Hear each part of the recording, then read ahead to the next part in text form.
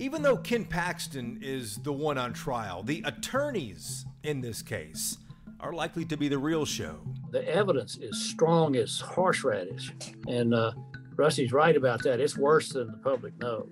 The two main prosecutors are legendary Texas lawyers, Dick DeGuerin and Rusty Hardin.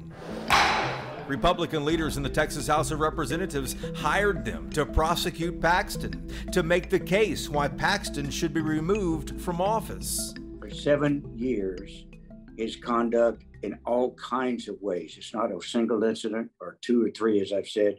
It is a whole pattern of conduct uh, that is that is just a cancer on the justice system in Texas. Hardin and DeGuerin have defended some of the most notable names of the last few decades athletes like Scottie Pippen and Roger Clemens, along with David Koresh from the Branch Davidians in Waco, just to name a few.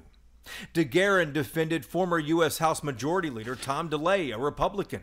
Hardin was one of the prosecutors in the Whitewater case against the Clintons. From a legislative body not something that we could all be proud of. On the other side, Tony Buzbee will defend Ken Paxton. Buzbee, also a high profile lawyer with swagger from Houston who enjoys the spotlight. Buzbee got big settlements against BP after the Deepwater Horizon disaster in the Gulf of Mexico back in 2009.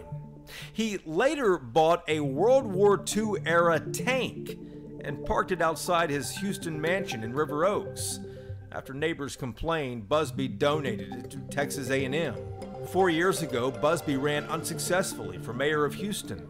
He recently announced a run for Houston City Council during all of this. Buzbee, DeGuerin, and Hardin are three of the best trial lawyers that money can buy, but this is not a legal trial. It's a political one. Rules were established by Republicans in the state Senate, and the senators themselves are the jurors. Yes, they are Paxton's peers, but they are hardly impartial.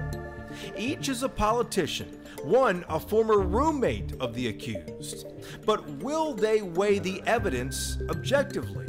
That is the challenge before Buzbee, DeGuerin, and Hardin, who will navigate us through an impeachment trial this state has not seen in more than a century. In Dallas, I'm Jason Whiteley.